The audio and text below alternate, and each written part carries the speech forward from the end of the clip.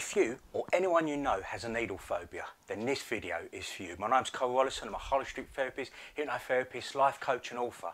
And uh, if there's anything holding you back in life, then this channel is for you. So if you subscribe, at least I know I'm heading in the right direction and I'll carry on doing videos. So anyway, uh, needle phobia, trypanophobia, right? Um, I've been raising awareness of this for many years and I help resolve this for free. Got to stop doing that now just for key workers and the elderly. I'll carry on doing it. I can't do it for everyone, right? Uh, I'm being inundated. Right, I can sort this phobia out in one or two sessions, okay? Um, and the thing is, people say to me, why'd you do that for free and nothing else? Well, the fact is, people die from this. People die from this all the time, right? I'm avoiding this. People don't die from spider phobias or height phobias, right?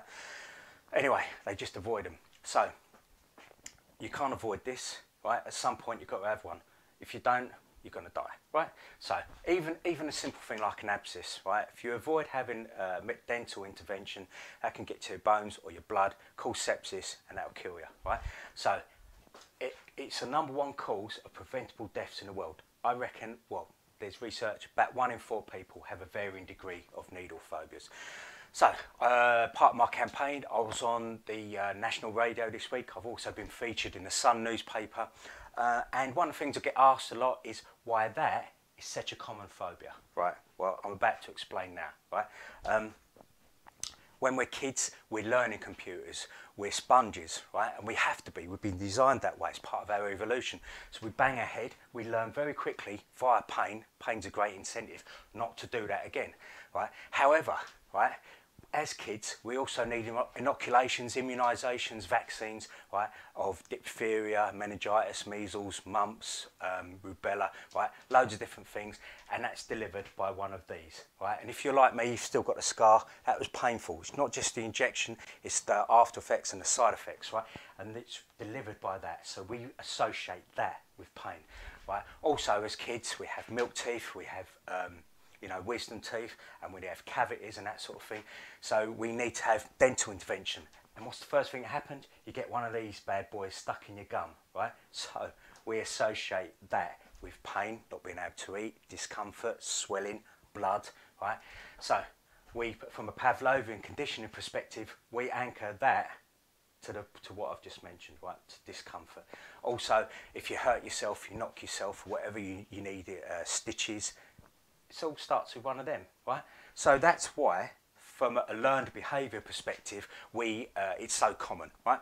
Um, we're only born with two phobias: fear, uh, fear of uh, loud noises, and falling, and falling like heights.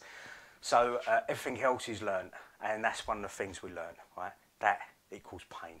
There is another reason, um, that's from an evolutionary perspective, why it's so common to avoid one of these is that um, for millions of years, even before we were humans, uh, compromising the integrity of our skin, exposing our uh, internals to the element, could result in uh, infection and infection resulted in death for most of our evolution, right? So we very quickly learned to avoid even like scratching ourselves, right? Because it was only up until, if you think about it, it was only up until what 1940 that Fleming discovered penicillin, which uh, which meant that having open wounds was no longer life-threatening. Okay, so these things are just part of the reason why this is such a common thing, right? It's part, it's part of our learned behaviour as a kids, but it's also part of our evolution, right? But that doesn't have to be. We can we can break the association of that with pain, right? So um, yeah, that's it. That's what I want to say. Just want to raise awareness. This is part of my campaign.